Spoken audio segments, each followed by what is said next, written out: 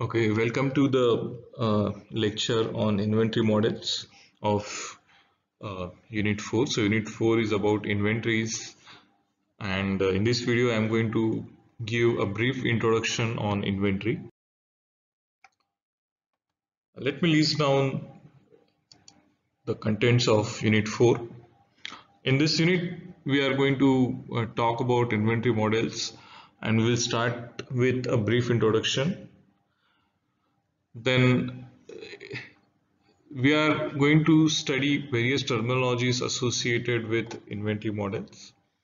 Uh, there are several costs associated with inventory and they are necessary to study the mathematical models of uh, uh inventory. There are two types of mathematical models that arise in inventory theory. Deterministic models that assume a constant demand, a constant known demand, okay? And stochastic models where we give a probability for a particular demand to exist uh, during a period. In our syllabus, we only have deterministic models. In deterministic models, we are going to uh, consider two categories of replenishing the inventory, continuous review models and periodic review models. In continuous review models, uh, companies place an order when they find that the stock of a particular product or an item has dropped below a threshold. Okay, uh, they might be reviewing, they might be uh, checking their inventory, their stock on daily basis, and uh, with uh, with time that stock falls that stock decreases and one day they might find that their stock has fallen below a certain threshold that they might have already set. And if that is the case they immediately put an order. However in periodic review models the inventory level is checked after certain specified interval of time say a week or two week or a month. And at the time of checking, if they find that the stock is below the threshold and this threshold is known as reorder point. So if the stock has dropped below this reorder point, they put an order, otherwise they don't. So in periodic review, if between this interval or during this interval, even if the stock falls below the threshold, the companies do not put an order. Okay. And the next thing about periodic review is that you we can approach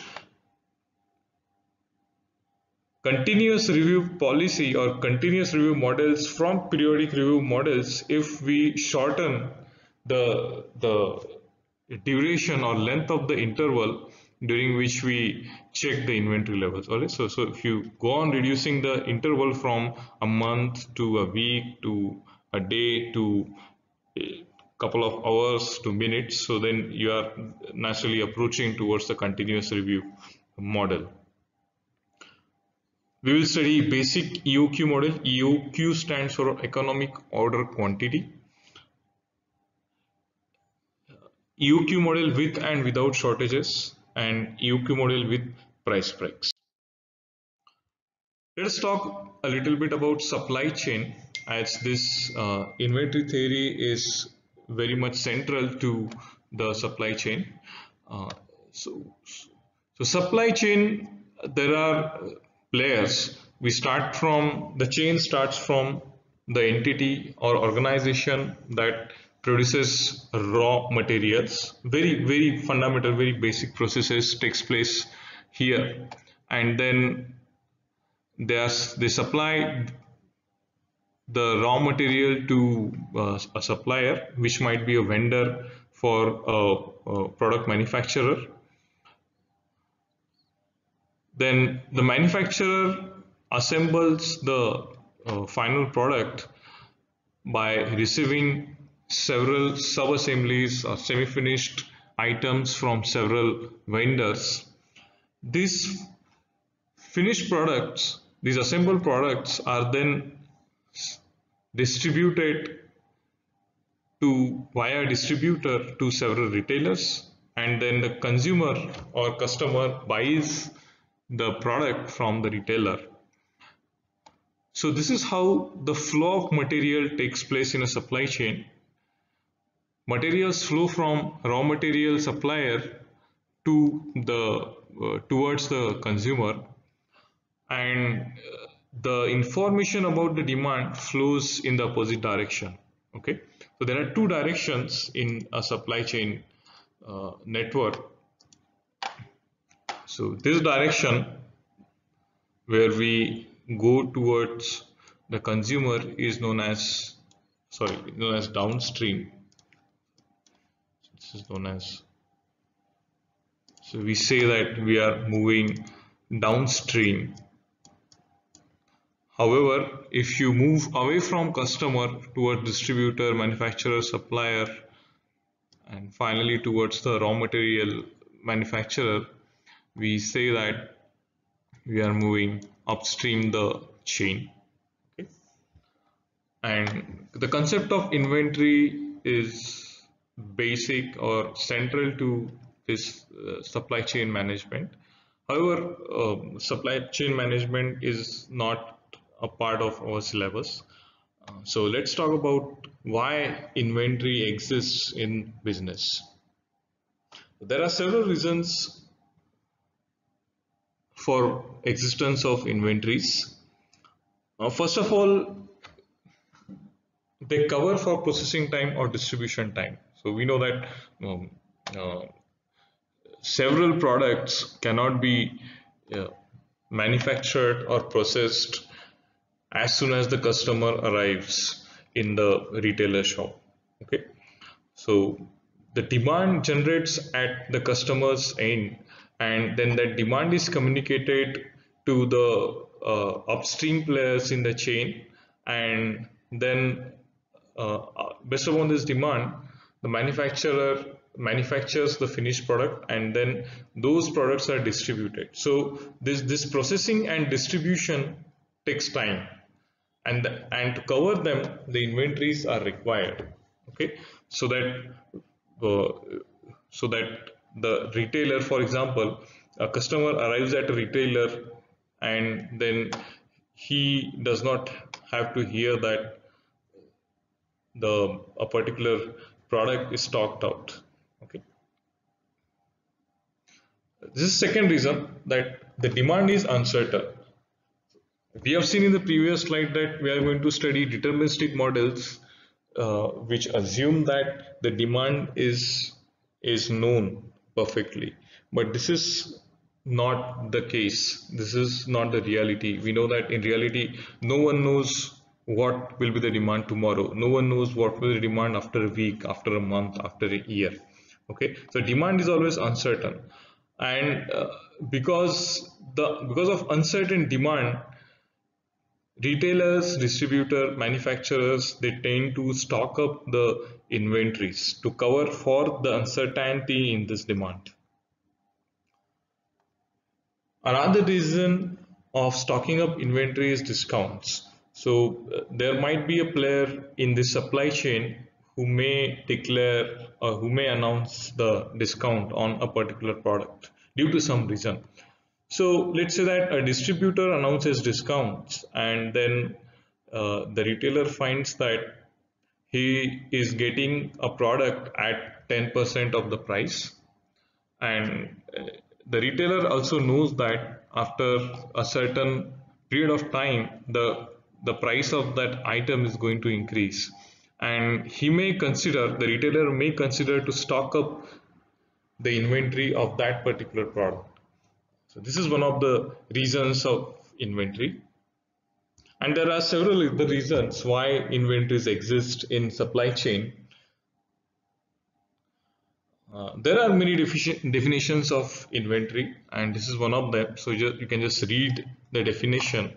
Uh, so inventory refers to the physical stock of material or goods or commodities uh, that are stored or reserved or kept in stock or in hand for smooth and efficient running of future affairs of an organization at a minimum cost of funds or capital blocked in the form of materials or goods. We know that to buy a stock of item, any player in the supply chain will have to pay the price. Okay. And uh, if he pays the price, that means there is a capital tied up with the inventory. And if not, if the, the if that player uh, that player would have invested the same amount of money somewhere else and uh, but he went for buying the stock of goods and that's why uh, uh, he lost he might have lost an opportunity. And this is also known as opportunity cost. So we will discuss the uh, opportunity cost later on.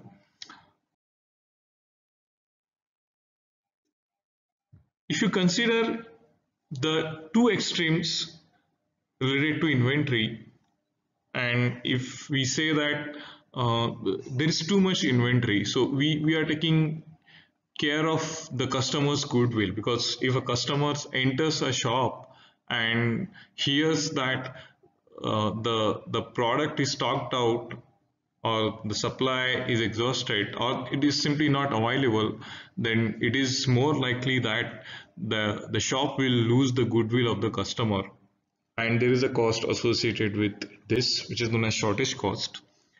So if a shop cares too much about the shortage cost and um, and that shop owner is stocking up a huge amount of inventory then there is also a cost associated with storing the inventory holding the inventory known as holding cost so too much inventory will increase the holding cost, but it will reduce the shortage, shortage cost. And on the contrary, uh, too less inventory will lead to loss of customers' goodwill. Uh, again, too less inventory will reduce the holding cost, but it may increase the shortage cost. It may lead to customer dissatisfaction or loss of customers' goodwill okay and inventory policy refers to the two decisions to be taken by any player in the supply chain when to order and how much to order.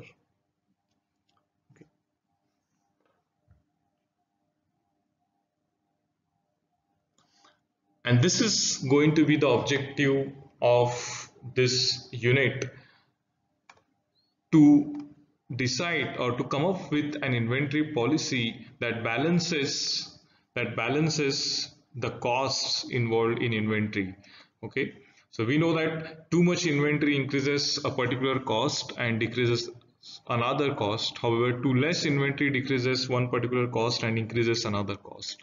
So we want to strike a balance between the two. And this is what we are going to do in the mathematical models in inventory theory okay? So uh, this is the a brief introduction to inventory theory see you in the next video